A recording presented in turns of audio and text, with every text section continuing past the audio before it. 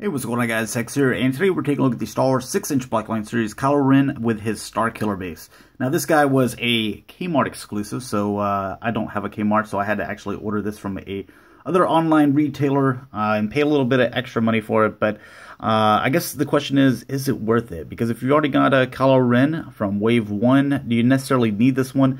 So we're going to take a look at some of the differences, do some comparisons, uh, but this is basically what you get with uh, this guy here. So you get a little bit of different paint. You obviously get the base, but there's a couple of things that are different with this guy where you did not get them on the original version. So first off, I want to take a look at the base. Now I've got a couple couple of issues with this.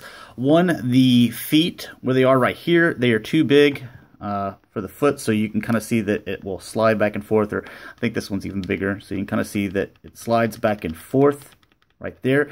And there's also no pegs. I mean, you got the the holes here on the bottom of the feet where it seems like that would make the most sense to where you could peg them in there so he could stand there very securely. Uh, but sometimes he falls over, as you can kind of see there. And you try to get the, the legs correct and uh, you know just start turning them here and the legs will, or the feet will start switching back and forth so if we would have got some peg holes in there that would have been nice but um, just looking at the clear base uh, but with some kind of snow on here, and you see some different terrain on here, so it looks like there was some tracks there, and he just stepped on it. You can see the impressions of his feet, and it's all right. Uh, to me, it's not necessary. It would just would have been cool to get the pegs, you know. Uh, but as far as some of the other accessories that you get, uh, you're going to get. Come on, focus for me. Uh, let's try there we go. All right, so you're going to get two lightsabers. So like the original Kylo Ren, uh, we got this one here, and it just pulls out. Let's see there. Uh, and that was supposed to be, you know, whether you wanted to have him, you know, bladed or unbladed. Uh, this was your lightsaber. So you see some gray paint on there, a little bit of uh, copper, but not really a whole lot. On this one here, it's not that jazzed up, but you can see a little bit of the gray paint and then that red line going down here, some gold there and red at the end. And this is where it gets really cool. So this is the non-detaching and you can see the difference in how much better it looks. Uh, they are the same length, but I just like this one so much better. Uh, just you can see the detail, the difference. Uh, it almost looks like the Elite Series one, which I'll have to take a look at. But again, but I think it it's the exact same one. So uh, I prefer this blade. You can see all the nice you know paint in it, uh, the gold, the red, the silver, kind of black wash over it. So very cool little blade. And now I'll take a look at the the figure and what's different about this guy and this guy.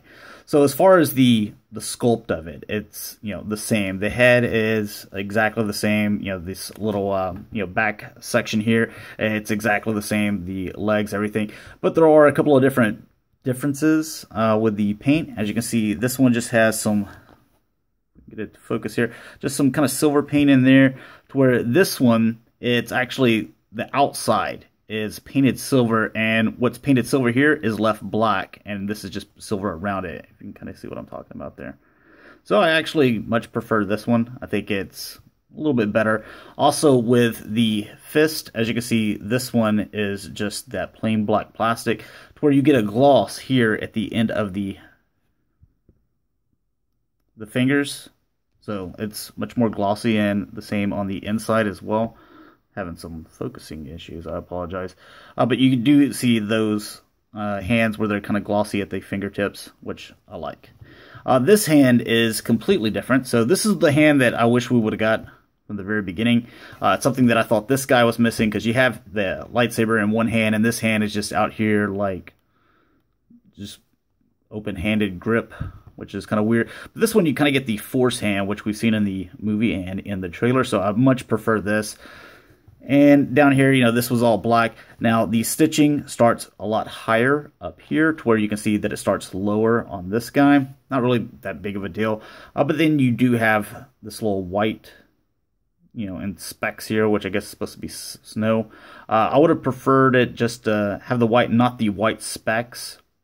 But just this, you know, kind of brush white on it, I think it would have looked a little bit better instead of the uh, little specks that it has. And this, it would have been cooler if, you know, because like you look here, how it's kind of uneven going like that. Also uneven here. Here on the back, it's just a straight line across uneven, or, you know, even. So it would have been cooler if this was kind of uneven as well. Just would have looked a little bit more natural. Uh, also with the boots, you're going to have a little bit of white on them. So you can kind of see it. it looks like they just kind of blasted it which is kind of cool and it makes it makes sense uh, because you know he's out there in the snow and you're going to put him on the uh, little display stand that it comes with. So just a couple of things that I think they could have done better with the figure, but I also like some of the changes they made with the belt buckle and also the hands and putting the gloss on them. But uh, let's go ahead and get into the articulation with this guy. Pretty simple. Uh, it's just like all the rest of them. Uh, you can take this down if you wanted to. Uh, the head rotates on a ball joint. Uh, not really getting a whole lot out of the the neck, uh, but he does, you know, look up and down because of the ball joint and, you know, side to side. the shoulders, this one goes out thus far. This one goes out a little bit further just because you're hindered with this section here. Uh, does, you know, rotate going back and forth. This one will swing 360 all the way around.